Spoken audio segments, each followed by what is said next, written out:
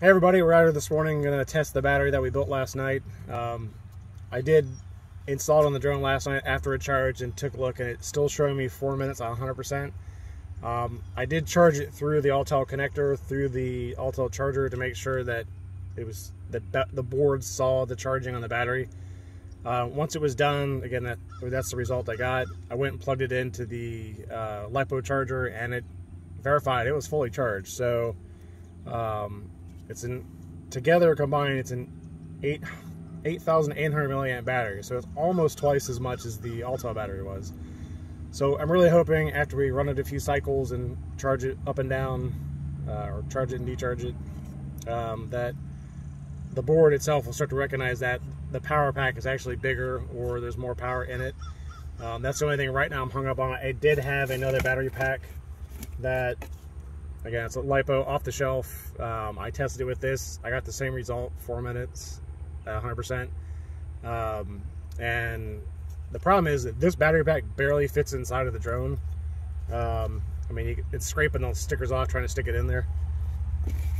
So this one is a whole lot skinnier. So it'll fit inside the drone. So the goal is, and it actually, I checked this morning, I got to work on the connectors on the top, the tabs, make them a little bit shorter, but it would actually fit back inside the battery pack inside of the case. So that's the goal to get this back as one piece.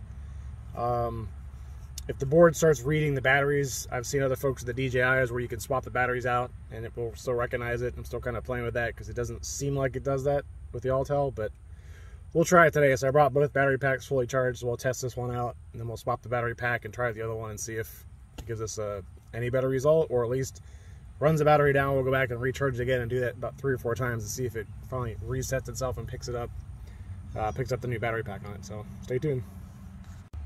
So the good news is it fits inside the Autel.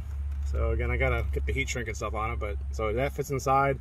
I thought about putting it in with the actual, with the plastic cover back on it, but I'm gonna hold off for now. I wanna make sure I get the electrical tape wrapped on it and get a heat shrink on it and everything. So don't wanna short anything out in the process. But we'll take it for a flight.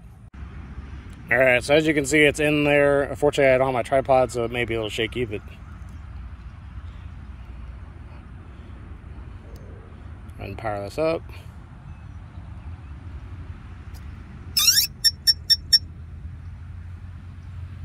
All right, got four lights, and we'll see what the controller says. All right, so as you can see, it's still four minutes 100%, so we'll see what we can, we'll run it and go from there. And she's up in the air.